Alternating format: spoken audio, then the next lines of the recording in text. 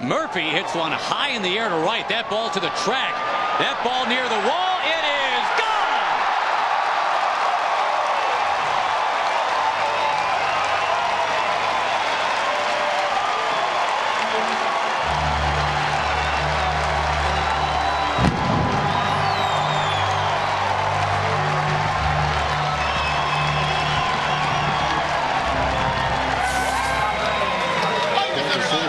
pitching David away all day long, and there's probably the reason why. This is what he can do to a pitch that's on the inside part of the plate.